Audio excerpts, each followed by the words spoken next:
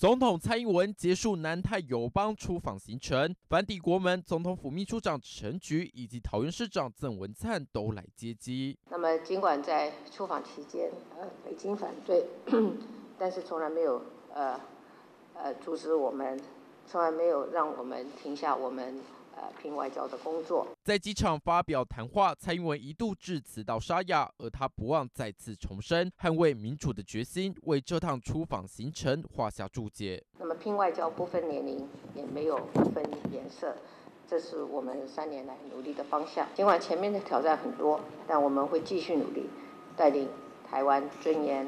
骄傲的走向世界。喊话要让台湾在国际间站稳脚步，但面临党内初选竞争，蔡英文要如何在自己的连任道路上站稳脚步，现阶段是难题。因为他的强劲对手赖清德也恢复竞选行程，第一步先透过新书发表，创造话题。发表了以后，我我会来看一看这个执政的经验哦，跟新跟许多这个呃这个治理国家的一些。